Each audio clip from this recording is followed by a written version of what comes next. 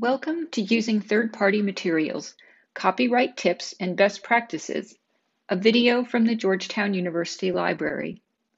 As you identify third-party materials you may want to incorporate into a project, keep these tips and best practices in mind so that you can identify a clear copyright exception for any work that is not your own and can make alternate choices if necessary.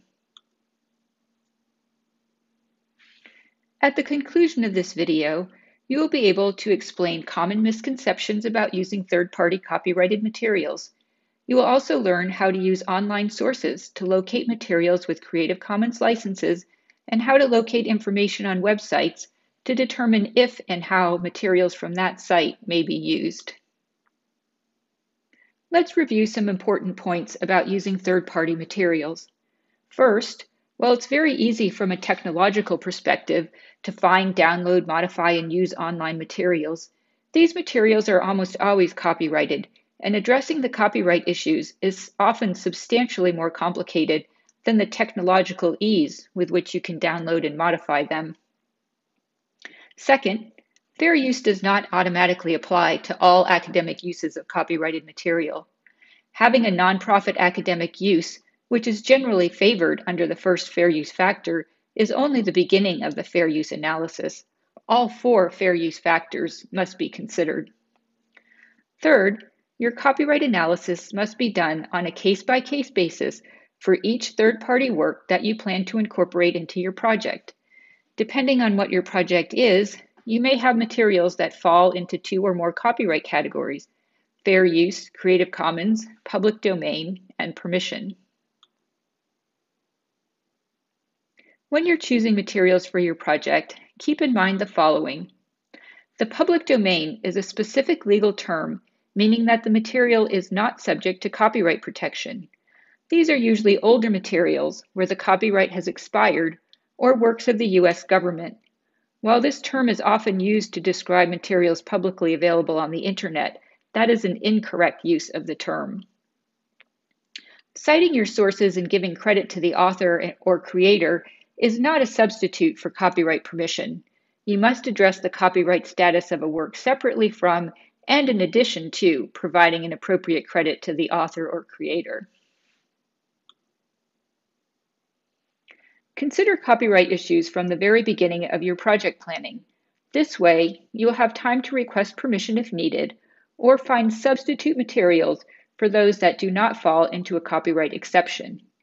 Keep track of the third-party materials you're considering using in a spreadsheet so you will have easily accessible information about where you found the work, how it's being used in your project, its copyright status, which copyright category it falls into, Creative Commons, public domain, fair use, or permission, and other notes about your intended use. Explore what materials are licensed by the library for the Georgetown community these may include journal articles, ebooks, reports, videos, and other types of materials. Access to these materials is limited to members of the Georgetown community with net IDs and passwords, so this is a good choice for class projects or other internal uses. For the main campus, you can locate our licensed databases using the A to Z Databases Guide. The Georgetown Law Library and Dahlgren Memorial Library have similar guides for the law and medical communities. Use sites with curated collections of materials that have few or no copyright restrictions. One example of such a site is the library's copyright and multimedia page. You can use the links for audio, images, and video to find lists of sites with Creative Commons or public domain materials for use in your project. Here is an example of some of the sites on our audio page. Once you've found suitable materials using these searches, be sure to check the license and verify that applies to your project. Use the filters on popular search sites such as Google Images or YouTube to limit your search to Creative Commons materials.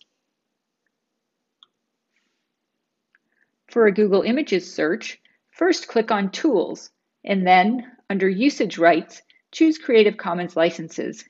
If you find a suitable image, be sure to verify that the license applies to your project. For a YouTube search, first click on Filter, and then under the Features column, choose Creative Commons. Again, if you find a suitable video, be sure to verify that the license applies to your project. Often, you will find relevant material on a website without the Creative Commons or public domain designation. Most works, even when they are publicly available online, are copyrighted. To determine what uses are allowed for online works that do not have a Creative Commons license, look for the website's Terms and Conditions, Terms of Service, Copyright, or similar link for more information. These links usually appear at the bottom of the web page. If you don't see a relevant link, look for contact information for the site and send a query asking whether the material can be used in your project. Here are two examples of what the relevant terms of service might look like. The New York Times limits use of its materials to personal use only. This, unfortunately, is a very common restriction. Some websites, however, have more generous terms of service, such as the National Geographic Society, which encourages the use of certain designated content for educational purposes. If you need to request permission to use content, first look to see if there is permissions contact information on the website. This may be an email address, a permissions form, or a link to the Copyright Clearance Center, which is often used for permission to reproduce excerpts from books or journals.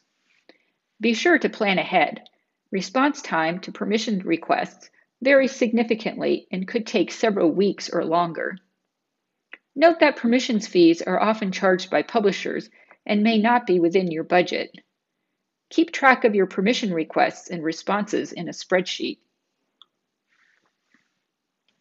If you are considering whether fair use applies to the use of a copyrighted work in your project, Educate yourself about how to conduct a proper fair use analysis to help make an informed decision about whether a particular use is or is not fair.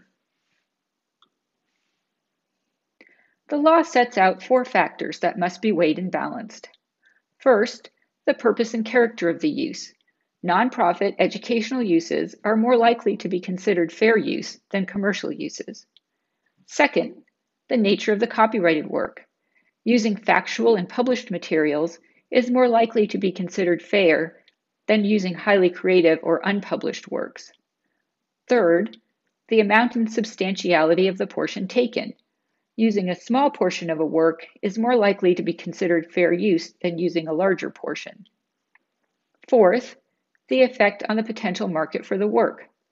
A use that has little to no impact on the market will be favored over a use that has a significant impact. The weighing and balancing of the four fair use factors is subjective and fact specific. Users and rights holders do not always agree on whether a particular use is fair, so there can be some risk involved in using materials under the fair use doctrine. If you are considering whether fair use applies to your use, visit our fair use page to help make an informed decision. The URL is library.georgetown.edu slash copyright slash fair dash use. If you have online materials you'd like to incorporate but do not have an exception to copyright law that will allow your intended use, consider whether linking to the article, image, video, or other material would work for your project. To learn more about each of the topics covered in this video, visit the websites listed on this slide. If you have questions or need more information, email librarycopyright at georgetown.edu.